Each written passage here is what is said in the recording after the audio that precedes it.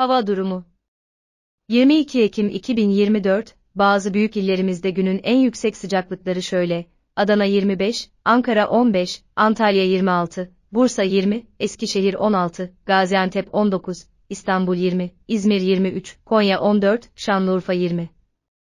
Diğer illerimizi videoda görebilirsiniz. Son dakika haberlerini kaçırmamak için takip edebilir, desteklemek için beğenebilirsiniz. Otomatik haber sundu.